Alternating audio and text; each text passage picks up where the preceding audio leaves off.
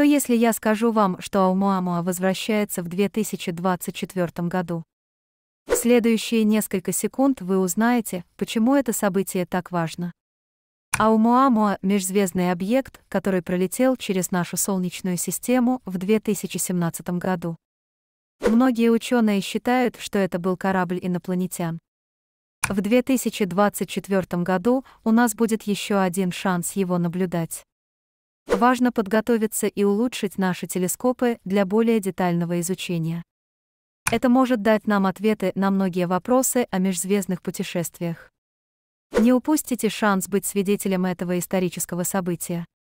Кто знает, что мы можем обнаружить на этот раз? Вы хотите узнать больше? Подписывайтесь на наш канал, чтобы не пропустить обновления. Ставьте лайк, если вам было интересно.